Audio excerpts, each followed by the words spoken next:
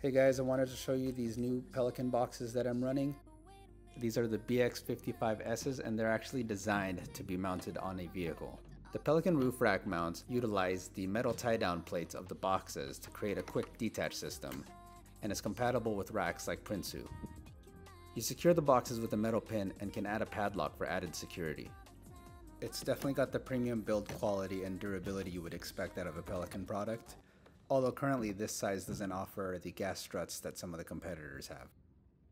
As you can see, two boxes fit great on the RAV4.